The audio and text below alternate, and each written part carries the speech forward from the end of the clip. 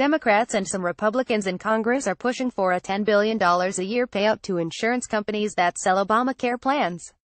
President Trump calls it bailing out the insurance industry. Truer words were never spoken.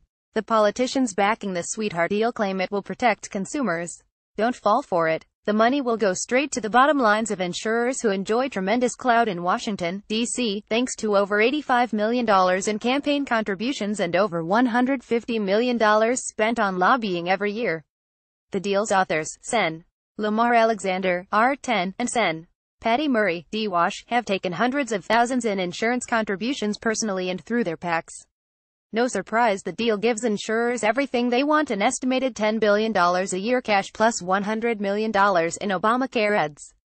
No other industry gets taxpayers to pay for their advertising. Meanwhile, consumers get nothing no freedom to buy affordable plans without Washington-mandated benefits, no escape from onerous tax penalties for not enrolling.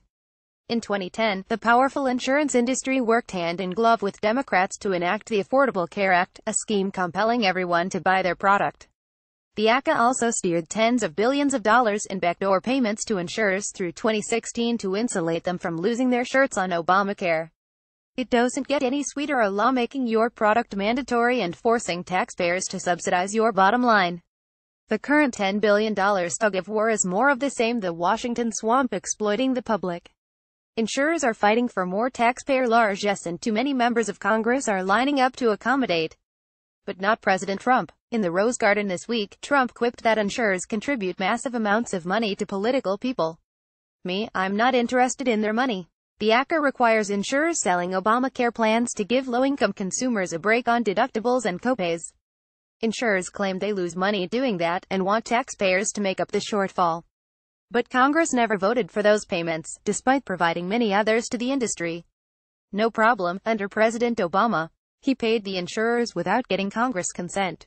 But the U.S. Constitution says the president can't spend what Congress doesn't appropriate. The House of Representatives sued and Obama lost. Federal Judge Rosemary Collyer ruled that the payments were illegal. Fast forward to October 12 when Trump announced he would halt the payments. Democrats howled that Trump was sabotaging the health law. Sen. Chris Murphy, D-Conn., accused the president of health care arson, an inflammatory, untrue statement. Trump's decision lobs the issue back to Congress, where it belongs but tragically that's where insurers have more sway than taxpayers. Denying it's a bailout, Alexander claims we have strong language in the Alexander-Murray agreement that consumers get the money, not the insurance companies. Those are weasel words. In truth, low-income consumers are already guaranteed breaks on copays and deductibles under the ACA. This agreement gives them nothing extra. The money is paid directly to insurers, going straight to profits. California Attorney General Xavier Becerra, one of 19 AGs trying to circumvent Judge Collyer's ruling by suing in the left-leaning Ninth Circuit, claims that without the payments, millions of families would be left in the cold without coverage. Nonsense. The law guarantees low-income families insurance. What it does not do is guarantee insurers a profit. As for threats that without the payments, insurers will hike premiums, hurting consumers don't buy that. State regulators have the final say on premiums.